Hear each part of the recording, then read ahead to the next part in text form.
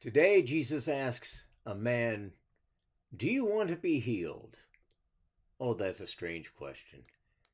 Asking that fella who's been flat on his back for nearly four decades, laying near the healing waters of Bethesda, if he wanted to be healed?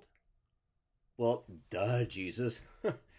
I've been lying here for 38 years, but there's nobody here to plunge me into the healing waters. By the time I get there, someone takes my place in line.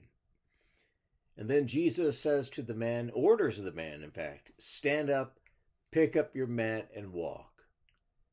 And the man picks up his mat and walks. Now, being a person in recovery, that question of Jesus actually makes sense.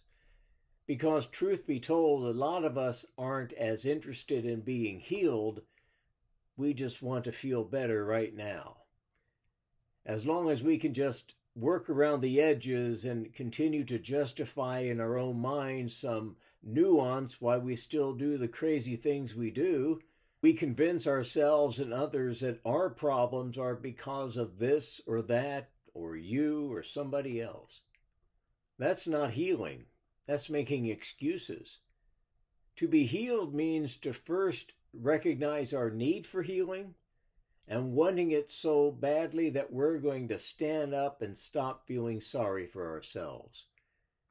We're going to pick up our mat and put away our rationalizations and excuses. We're going to walk the path that brings healing to our hearts and souls every day the path of forgiveness and compassion, of humility and mercy and justice. If Jesus had healed that man and he just stayed unmovable on the mat, just kept lying there, that fella then didn't embrace the healing. He had to put some effort into it himself and work the program Jesus gave him to stand up and to get moving. Let's ask Jesus for the courage to take up whatever help is offered to us. And let's stand up ourselves and take up our mat and walk in the footsteps of Jesus. Let's realize that God has given you and me the gift of life and move forward. May Almighty God bless you and keep you in the name of the Father and the Son and the Holy Spirit. Have a move forward Tuesday.